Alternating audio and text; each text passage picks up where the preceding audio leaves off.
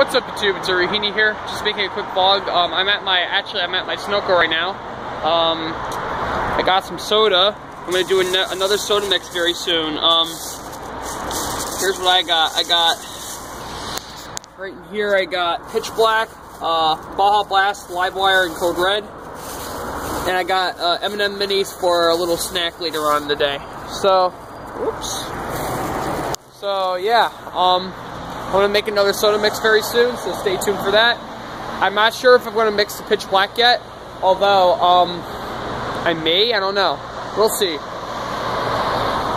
But I am to do Baja Blast Code Red and Livewire. I might make Mountain Dew Solar Flare or something because Solar Flare has a tropical kick to it. Too bad they don't have it anymore at 7-Eleven, so that's why I want to do another soda mix. So yeah, there's to be a soda mix special on my 15th episode, so stay tuned for that as well.